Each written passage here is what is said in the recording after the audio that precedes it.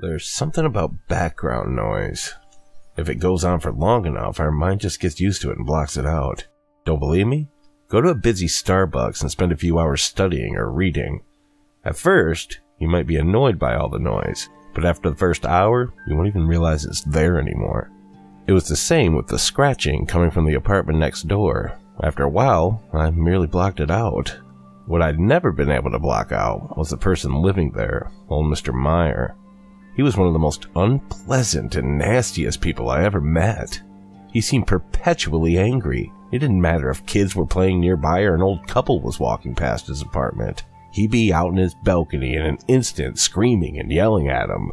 You could even see the saliva flying from his trembling mouth. For what it's worth, though, I couldn't help but be impressed by the old man's vitality. At times, he'd scream and yell at people for hours on end. Maybe this misanthropy was all he had left. I'd heard that his wife had long died and he had no other relatives.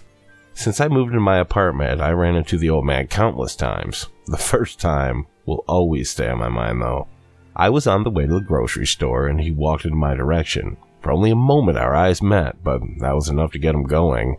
He'd asked me what I was looking at, and when I didn't answer, he told me to get the hell out of his way before he beat the living shit out of me with his cane. I stepped aside and looked after him utterly dumbfounded. At the time, I had no clue what was going on with the old man. After a while, I came to learn that this was normal for him. To be honest, I was never afraid of the old man. No, I was mostly amused by his antics.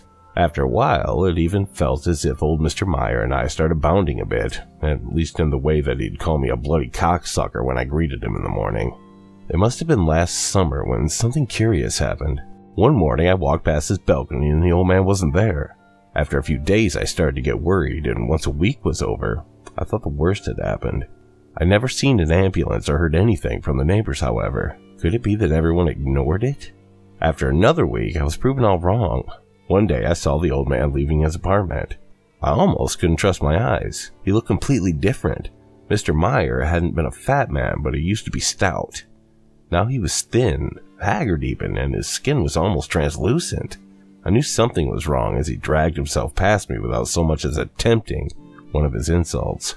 As the days went by, the old man's condition started to improve. Week after week, his cloth filled out again, and before I knew what had happened, he was back to normal. Even his skin got his old color back, and soon enough he walked with more vitality than ever before. It was nothing short of miraculous.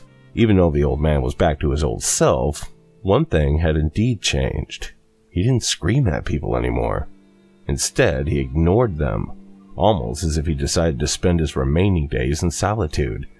The only thing I could still hear from his place was the scratching I'd mentioned before. It seemed to be there almost always. It didn't matter if I made coffee in the morning or watched a movie on Netflix. The low, quiet sound of something scratching against the wall seemed to be ubiquitous. It was really creepy, but after a while my mind blocked it out. I completely forgotten about it until last week. I was sitting in front of my computer, watching one of the stupid new shows on Netflix. Suddenly, I heard a sound from the wall I shared with Mr. Meyer's apartment. When I turned around, I saw something poking through the wallpaper. At first, I thought it was a nail, but no, it was a spoon. Right at that moment, the scratching behind the wall started with renewed intensity. The spoon poked through the wallpaper again and again before a brick was pushed forward. It crashed to the floor, leaving a ragged hole in the wallpaper.